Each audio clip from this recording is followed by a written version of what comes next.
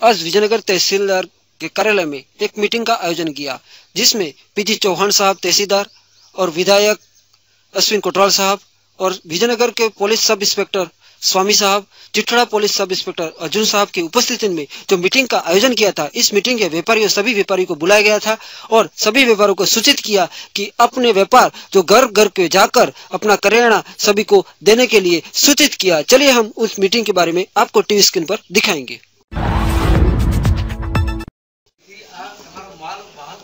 यहाँ जो तहसील में मीटिंग रखी गई है, वो आप देख रहे हैं पेपर एसोसिएशन की, जो तहसीलदार सभी को समझाते हुए बता रहे हैं।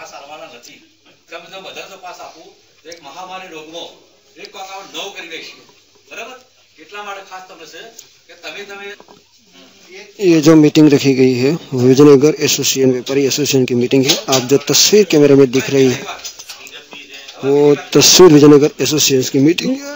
बड़ी संख्या में व्यापारी एसोसिएशन से लोग आए हुए हैं। आपको जो तस्वीर दिखा रहे होगी कैमरे में।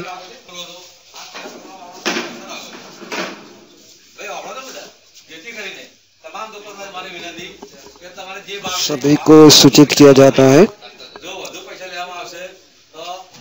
विजयनगर तहसील कार्यालय में जो मीटिंग का आयोजन किया है, वो आप तस्वीर में दिख रहे हैं।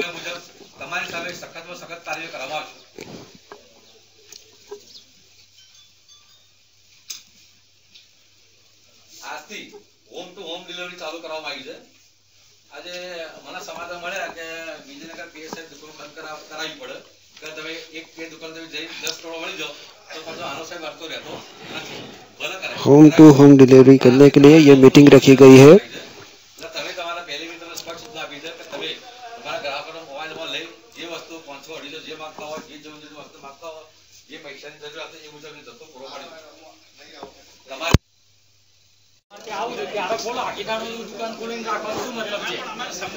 સપ્લાય કરવો હોય તો કેટલી વાર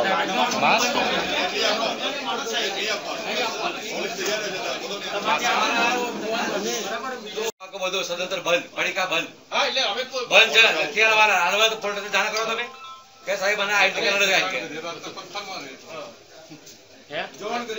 નથી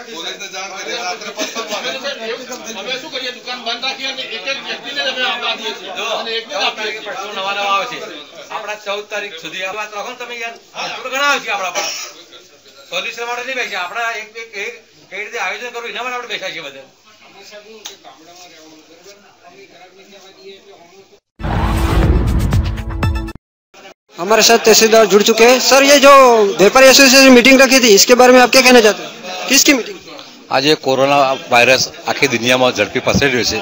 કે વિજયનગર તાલુકા વેપારી એસોસિએશનની મિટિંગ રાખવામાં આવી છે અને વિજયનગર તાલુકાના હોલસેલ રિટેલર દુકાનદારોને ગ્રાહકોને હોમ ડિલિવરીથી ઘેર બેઠો તમામ ખાદ પુરવઠો મળી રહે તે માટેની મિટિંગમાં વિગતવાર ચર્ચા કરવામાં આવી છે. આ મિટિંગમાં એમએલએ સાહેબ એસપીપી કોટવાલ સાહેબ બંને પીએસઆઈ સાહેબ તિથોલા અને વિજયનગર હાજર છે. તમામ વિજયનગર એસોસિએશનને પણ ખાતરી આપી છે કે વિજયનગર તાલુકામાં મહામારીના રોગથી બચવા માટે અમો ઘેર ઘેર જઈ અને હોમ ડિલિવરી પૂરી પાડવામાં આવશે. ખૂબ ખૂબ આભાર આપશો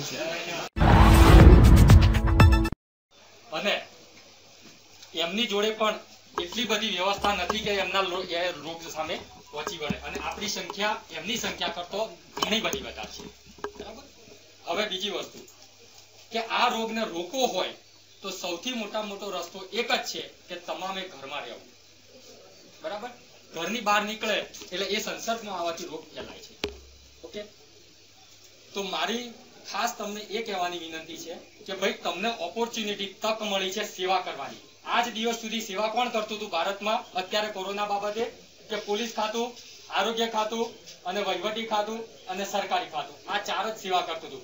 પરંતુ હવે જે કરિયાણું, દૂધ અને શાકભાજી વાળા તમને મોકો મળ્યો છે કે તમારે ભારત દેશની સેવા કરવાની છે.